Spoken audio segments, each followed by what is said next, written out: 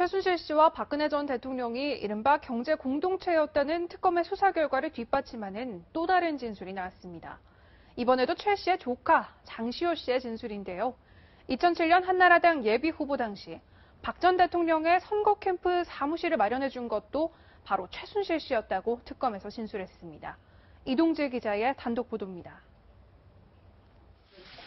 지난 2007년 제17대 대선 당시 한나라당 예비 후보로 나섰다가 경선에서 낙마한 박근혜 전 대통령.